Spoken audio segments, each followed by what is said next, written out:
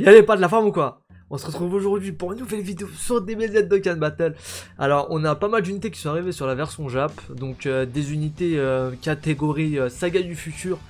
Et il y en a qui sont pas mal du tout. Donc, on a eu le test du Trunks LR 100%. Il est là, frérot. Si tu veux aller tester dans le bouton, il est juste là.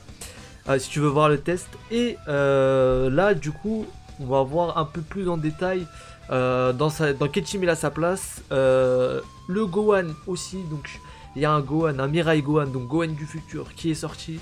Euh, leader catégorie saga du futur, donc qu'on va aussi aller analyser. Et il y a de nouveaux Dokkan d'une ancienne C18 et C17 qui viennent d'arriver et qui sont assez ouf franchement ils ont pas fait des Dokkan comme ça depuis un moment c'est vraiment un Dokkan de malade je trouve pour les unités euh, du coup voilà, toutes les, toutes les infos sont disponibles sur le Wiki. Alors n'hésitez pas à les checker, n'hésitez pas aussi à lâcher un énorme pouce bleu pour soutenir la chaîne, ça fait grave plaisir.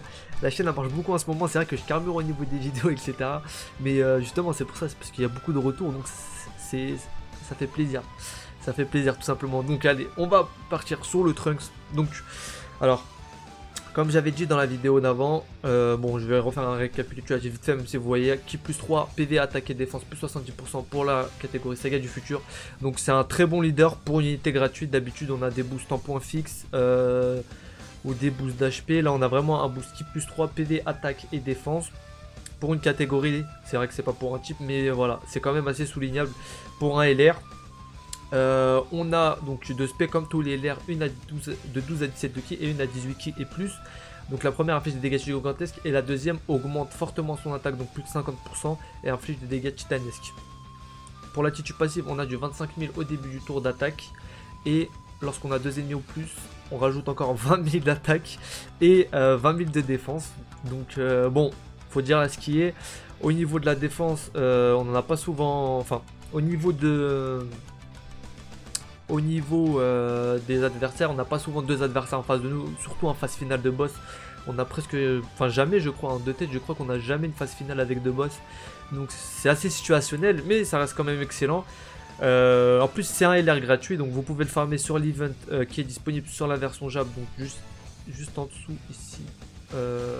bon, on ne voit pas l'event, mais n'hésitez pas à aller check la vidéo que j'ai fait juste avant, je vous montre où on peut le drop. Donc euh, il est assez euh, facile à drop. On peut avoir plusieurs exemplaires, le mettre à 100%, etc. assez facilement. Au niveau des médailles, par contre, pour le mettre en LR, c'est du 777, comme, tout, comme les LR gratuits euh, Freezer et Goku LR. C'est un farm qui est assez fastidieux au bout d'un moment, mais bon, je pense que ça vaut le coup, surtout pour celui-ci. Au niveau, donc, l'aptitude passive, le boost est assez conséquent, 25 000 en attaque. Le deuxième, bien sûr, est excellent, hein, le plus 8 euh, qui va permettre de partir en speed team tout le temps. Euh, donc on aura 45 000 d'attaque et 20 000 de défense, mais c'est vrai qu'on a rarement deux adversaires, donc on va rester sur le 25 000, qui est, euh, qui est pas mal, qui est pas mal du tout, même si c'est un boost en point fixe.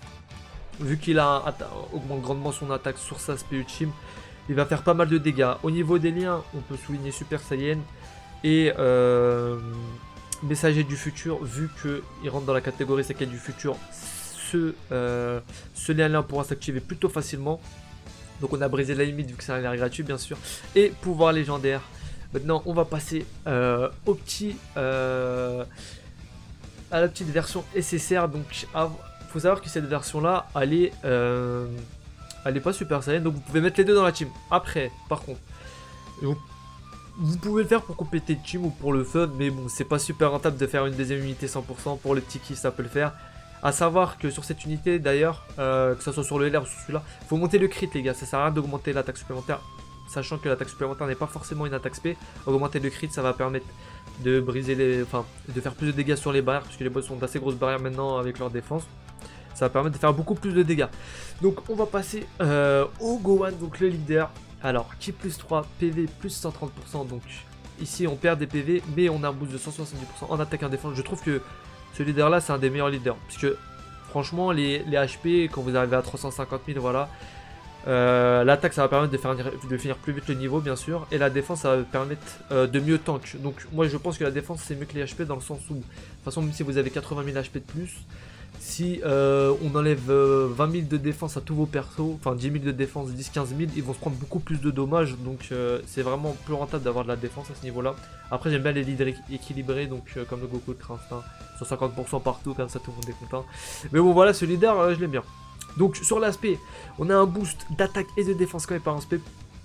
Donc ça augmente de 30% l'attaque et la défense pendant juste le tour en cours pendant juste le tour en cours et donc des immense hein. un peu normal maintenant les dégâts c'est devenu euh, le nouveau standard pour les unités de Canfest sur le passif on a attaque plus 150% pour lui-même. Plus les PV sont bas plus sa défense elle augmente jusqu'à un boost de 100% et euh, réduction de dégâts du 10% par tour. Donc 50% max. Alors ça veut dire quoi? Ça veut dire que il a 100% d'attaque. Plus vos PV vont être bas, plus ils vont augmenter, plus votre défense va augmenter. Donc euh, au bout d'un moment, vous aurez 100% attaque et défense.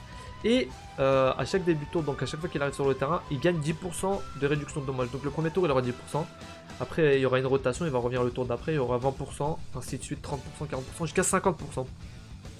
Il faut souligner que euh, c'est un des seuls tanks pour le type Super End. Le Gogeta euh, End et l'air, bien sûr, tank très bien avec son boost de 130% en défense et 150% transformé, mais on n'a pas d'autres on n'a pas d'autres euh, tanks, hein. on n'a pas d'autres tanks. A le Piccolo qui donne 70% de défense à tout le monde, mais c'est pas un vrai tank. Là, on a vraiment un tank. Après, il va mettre pas mal de temps à tank. C'est vrai que sur les premiers. Euh, bon, après, on va se dire la vérité, quand on fait un Dokkan Event, les premiers tours vont être les plus simples et ceux où vous allez prendre le moins de dégâts, vous allez faire le plus vite. Parce que voilà, c'est plutôt aux dernières phases de boss où il faudra bien tank. Les deux dernières phases, donc euh, je pense qu'il remplira parfaitement son rôle d'ici 3-4 tours. Euh, suffit d'un peu baisser les PV, voilà, il aura un boost de 50% en défense et va réduire euh, les dégâts subis de 50%. Ça va largement faire le taf, avec son boost de 100%, il va quand même euh, faire des dégâts et, et, un boost de 30% sur sa défense. Donc juste après que vous partez en SP, si le, perso tape après, si donc l'ennemi tape après, vous allez encore mieux tank. Voilà. Au niveau de délai, on a famille de Sangoku, défense plus 15%, ça c'est pas ouf. Guerrier doré, bon pourquoi pas. Super Saiyan, bon le lien standard heureusement qu'il a, très bon. Para au combat excellent aussi. Guerrier vétéran qui a un très bon lien. Guerrier vétéran qui a un très bon lien. Euh, alors, je crois que le, le, Gogeta, le Gogeta là, futur désespéré et combat acharné. Donc euh, voilà, une excellente unité. Pour les catégories, on a Saiyan 200 mêlée bien sûr. Et euh, Saga du futur. Donc comme je le disais tout à l'heure, euh, le LR Trunks, donc j'ai oublié de dire, il rentre dans la catégorie Saiyan 200 mêlée aussi. C'est-à-dire que c'est une catégorie quand même qui a pas mal de LR. Et il y a un boost de 170% sur la défense, donc comme sur ce, donc ce leader-ci. Mais le Gohan monte de 50% les alliés sur son passif aussi. Donc ça va être un tank dans cette team, ça va être, euh, un tank qui va quand même pas mal tank. Donc en parlant du Trunk l'air bien sûr. Maintenant on va passer aux deux dernières unités. Donc la C18 qui a eu son Dokkan. Donc pour ceux qui ne se souviennent pas, c'est cette 18 là, cette 18 là qui ne servent à rien. Donc c'est la C18 future. Vous pouvez augmenter cet aspect avec les C18 SR future et pas les autres.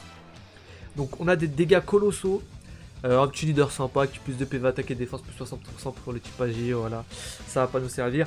Affiche des dégâts colossaux et augmente la défense de 30% pendant 3 tours. Alors, changer sphère de qui end en sphère de qui agit. Ça, c'était son ancien passif. Elle avait que ça. Euh, elle avait un petit boost d'attaque, je crois. Elle avait un boost d'attaque de 20% si je me trompe pas. Voilà, un boost, un boost d'attaque de 20%. Et elle faisait des dégâts énormes. Donc, c'est passé à dégâts colossaux. Un boost de défense sur sa spé. Et en plus de ça, attaque et défense plus 70%. Et change des sphères de ki int en sphère de ki end lorsque les PV sont inférieurs à 70%. Alors qu'est-ce que ça veut dire? Je vais vous expliquer tout simplement. Elle va apparaître sur le terrain au premier tour. Vous allez changer les sphères de ki end en sphère de ki ag. Dès que vous passez sous la barre des 70% de PV, elle va garder euh, son effet de changer les sphères de ki end en sphère de ki ag. Mais en plus, elle va changer les sphères de ki int en sphère de ki end. Et elle va avoir un boost d'attaque et de défense de 70%. Franchement, c'est un truc de malade. Elle change, euh, elle change de couleur. Sachant que la couleur qu'elle change, donc au premier, euh, dès le début, elle change les sphères de key end en sphère de key agi. Et après, elle change les sphères de key int en end. Donc ça veut dire le tour d'après, en fait, ça va faire int, end, agi. Int, end, agi, int, end, agi. Vous allez changer toutes les sphères, deux couleurs de sphères de key en agi, sachant que il y a tech, agi, puis int, euh, et tech, agi, puis int, et end, ça veut dire que vous avez trois couleurs qui vont devenir. Enfin, deux couleurs qui vont devenir âgées. En gros, il y aura trois types d'orbes qui seront euh, agit. C'est un truc de malade, c'est un truc de malade. Tout plateau va être transformé presque en, en, en, sphère agi, c'est un truc de fou. C'est vraiment un truc de fou. Je sais pas si vous vous rendez compte. Quand j'ai vu ça, j'ai pété un plomb. Genre, l'unité, c'est des unités de malade. En plus, ah, bon, D'accord, pour passer sous la, barre des 70% de PV. Mais bon, c'est pas inatteignable 70%. Quand c'est en dessous des 50%, je dirais encore d'accord. Mais 70%, en soi, vous, vous prenez une spin n'importe quel boss sur un perso qui a un peu de défense et qui est pas un temps qui va se prendre du 60-70 000.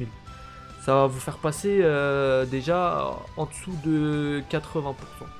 En dessous de 80%. Après, des petites auto-attaques par-ci par-là. Franchement, il y a moyen de les proc les moins 70% sans être pour autant en danger. Parce que c'est vrai qu'il y a des unités euh, moins 30%, vous êtes en danger. Là, Franchement, vous avez 70% des PV avec un boost de 170 en HP en leader.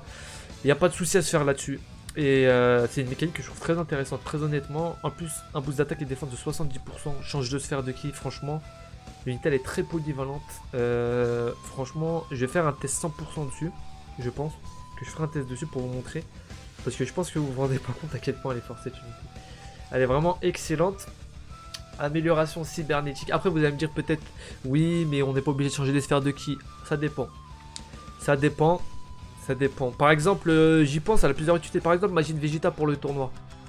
Bah ici, on va changer de sphère de qui? Et pour le tournoi, on va être en dessous de la barre des 70% très facilement.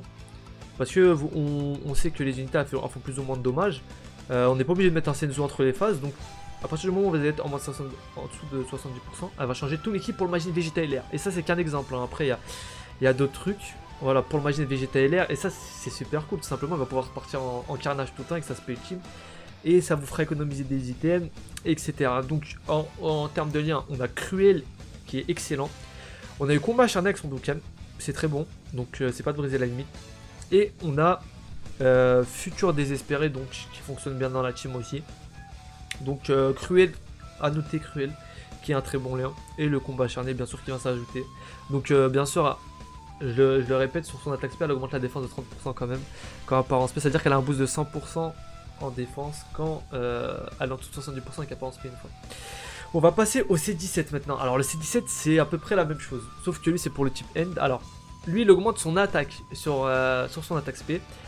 Attitude passive change les sphères de ki Tech en sphère de ki End. Donc euh, lui, il change les sphères de ki N. Et pareil comme l'autre C18, donc il change les sphères de ki puis en agi.